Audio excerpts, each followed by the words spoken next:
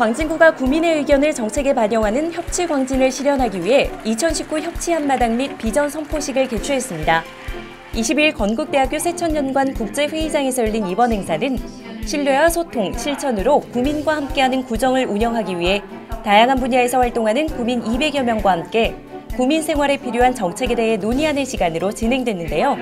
오늘 협치 한마당 민관 협치 선포식이 우리 광진의 지역 가치를 높이는 그러한 계기가 되기를 바라고 여러분과 같이 고민하도록 하겠습니다. 여러분 좋은 시간 되시기 바랍니다. 고맙습니다. 최종 선정된 사업은 내년도 시민 참여 예산 중 구단위 계획형 예산에 반영하는 등 민관 협치를 통해 구민의 의견을 구정에 적극 반영해 나갈 계획입니다.